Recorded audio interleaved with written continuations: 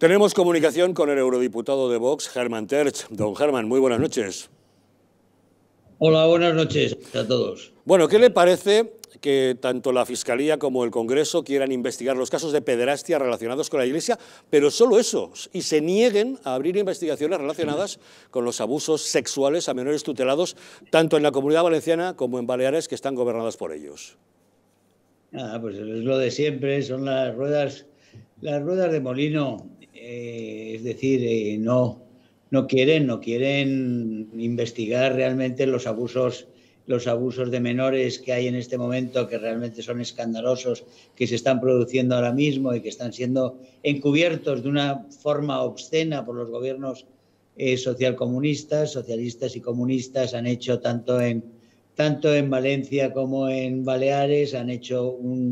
una especie de operación de ocultación masiva como si tuvieran muchísimas cosas que, ocultar. En realidad deberían ser los primeros eh, deseosos de que se aclarara aquello, de encontrar a los culpables, de buscar quiénes llevan esas redes de prostitución de las niñas tuteladas, en, tanto en Baleares como en Valencia. A ver si pasa algo parecido a lo que pasaba en casa de la señora Oltra, donde tenía ella tutelada una, una niña, eh, una niña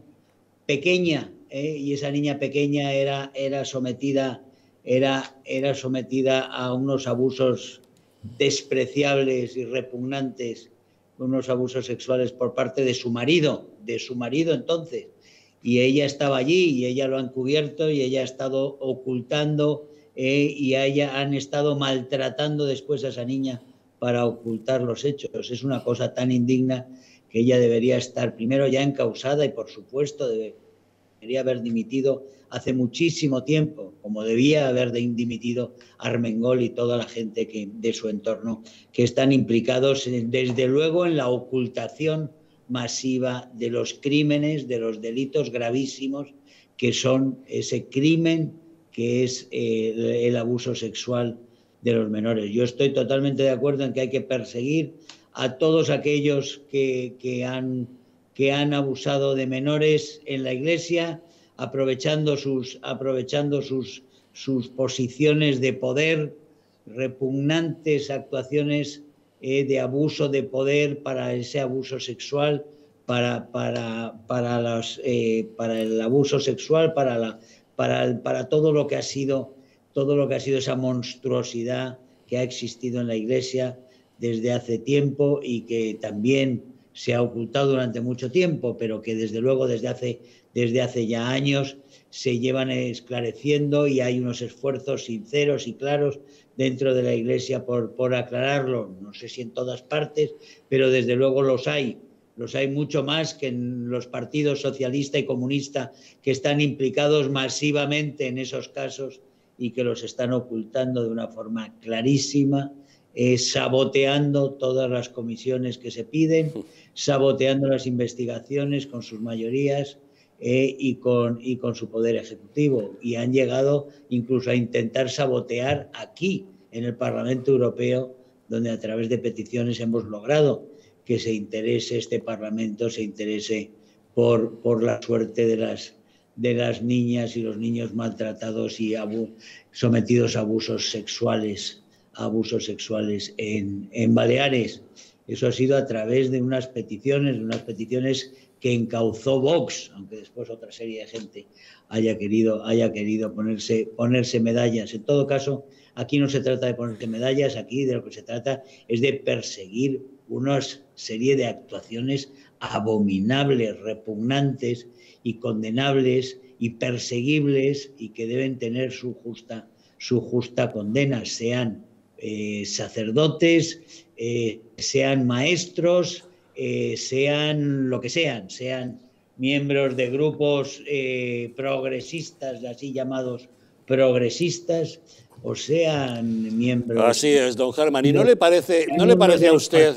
O de los gobiernos, o de los gobiernos. ¿Y no le parece a usted, don Germán, que justamente por la gravedad de este escándalo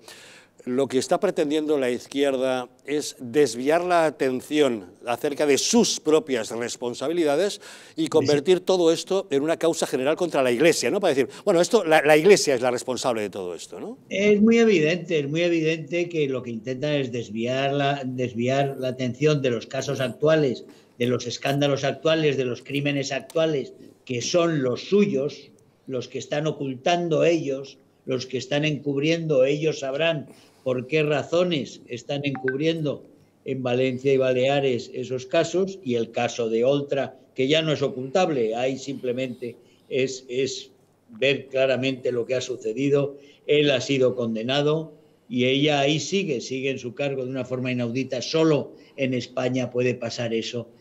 que después de lo sucedido y después de haber visto la gravísima implicación de Mónica Oltra en, el caso de en el cual ha sido condenado su ex marido, que ella siga, que ella siga en un cargo. Pero claro, cuando tenemos un presidente del gobierno que miente como miente, que ha roto realmente todas las reglas de convivencia y de decencia que existen en, que existen en el mundo civilizado, pues y sigue en el cargo, pues ¿por qué no van a seguir todos los demás? En ese sentido, todos se sienten, todos se sienten arropados pero por supuesto que es una causa general contra una iglesia donde unos obispos han creído que por estar, por seguirle la ola al gobierno, por ser, por aparecer como auténtica servidumbre de este gobierno, por quererse eh, eh, ser amable y, no defender realmente nada de lo que debieran defender, por, por aproximarse de una forma eh, pues obsequiosa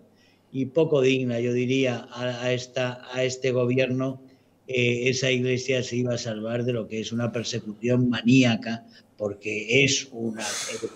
es una persecución que llevan realmente en, en, llevan muy dentro. El odio, el odio a la iglesia y el odio a la trascendencia es uno de los elementos claves en este gobierno y en esta, y en esta gente. Y la iglesia lo debería saber, pero la iglesia ha creído que les iban a perdonar por, por ayudarles por ayudar a este gobierno que le iban a, perdonar a la, iglesia ser iglesia.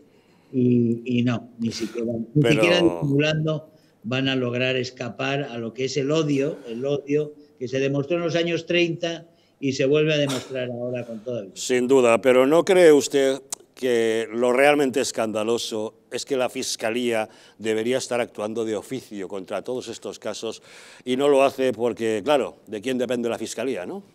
Tenemos un gobierno delincuente, a ver si nos vamos dando cuenta de esto. Tenemos un gobierno delincuente que utiliza, que viola las, viola las leyes ¿eh? y utiliza los cargos, utiliza los cargos para actuar en absoluta arbitrariedad por encima de las leyes. Teniendo un gobierno delincuente que utiliza los cargos como la fiscalía precisamente para sus objetivos, que es anular y destruir a la oposición, quebrar a la oposición e imponer su narrativa de mentira. Todo es mentira lo que hacen y todo es delito lo que hacen, porque es que no en ningún momento proceden para el bien común, están gobernando para el bien común, están saqueando, están saqueando España, eh, poniendo a España en una situación terrorífica eh, de cara al futuro. Están poniendo en peligro a toda la población española. Eh, con esta política que están haciendo, pero al mismo tiempo están, como digo, están utilizando el poder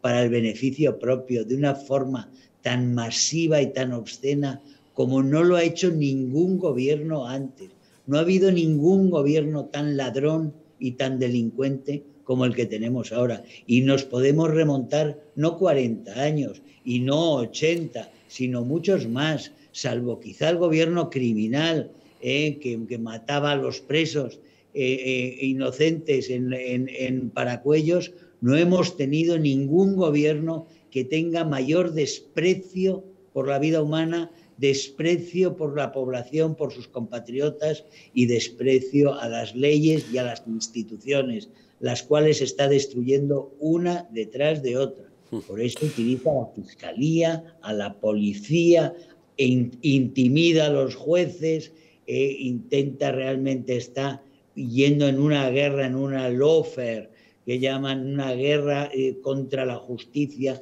para que todos los jueces sean injustos y al final todos los jueces sean, como en Venezuela, delincuentes ellos mismos, para que sean unos jueces que no tienen autoestima y que son, están dirigidos, como pasa en este momento en Venezuela, que tienen a un presidente del Tribunal Supremo que es un criminal, un delincuente, un delincuente con asesinatos en su conciencia y que lo pusieron a presidir eso para ridiculizar a la justicia, para que todos los jueces supieran que no valen nada. Esa es la trayectoria que ellos quieren seguir. Esa es la trayectoria y, el auténtico Tribunal Supremo de Venezuela está en el exilio, efectivamente. Don Germán Terch, eurodiputado de Vox, muchas gracias como siempre por acompañarnos en Los Intocables. Un saludo. Don Ricardo Martín, ¿qué le parece?